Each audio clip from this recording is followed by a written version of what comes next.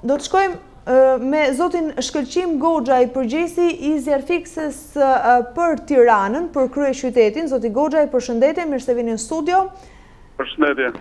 Si paraqitet situata deri në këto momente që flasim, di që keni qenë i angazhuar maksimalisht ju dhe gjithë stafi juaj në lidhje me situatën e krijuar pas tërmetit.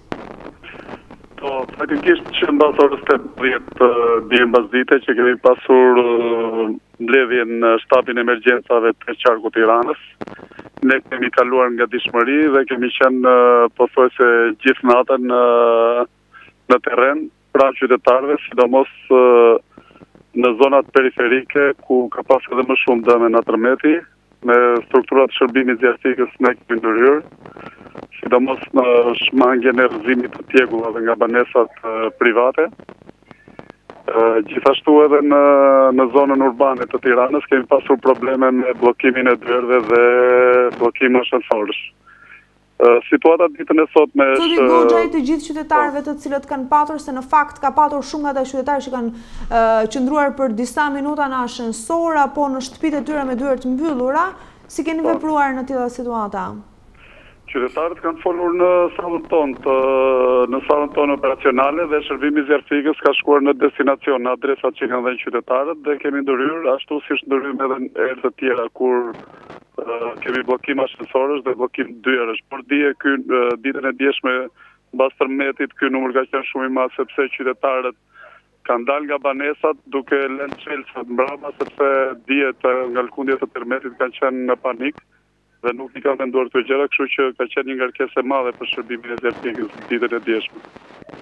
E qartë. Zoti Goxhaj, ndërkohë ditën e sotme si paraqitet situata dhe a ka nga ata qytetarë të cilët vërtet edhe sot pas tërmetit dhe pas lëkundjeve kërkojnë ndihmën tuaj?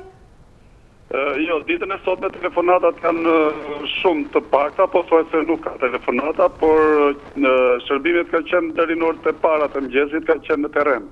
Kanë qenë të gjitha shërbime në terren ku ka pas telefonata. Ndërsa ditën e sotme janë strukturat e tjera të bashkisë, strukturat e emergjenca të emergjencave civile, të cilat janë në terren për të verifikuar dëme në dëmet në shpitë e banorëve.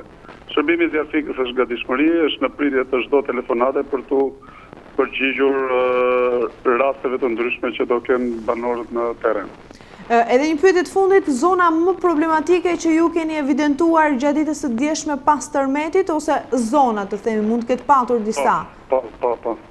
Më shumë ndërhyrje ne kemi bërë në zonat ku ka pas ndërtime të para viteve nëntëdhjetë, siç janë zonat në në zonën në në zonën e Kombinatit, rrugët në zonën e Kombinatit, në rrugën Llambi Bonata, gjithashtu afër kopshtit njëzet e shtatë, sepse aty janë ndërtesa dy tre katshe të ndërtuara para vitit nëntëdhjetë dhe në momentin e tërmetit shumë nga këto banesa janë dëmtuar dhe kemi pasur edhe rrëzim të tjegullave të çatisë, kështu që i është dashur shërbimit zjarrfikës që të ndërhyjë për orë të tëra aty, tjegullat që rrezikoheshin të rrëzohen i kemi hequr. për të shmangur çdo rrezik për qytetarët. Këto kanë qenë zonat më të prekura.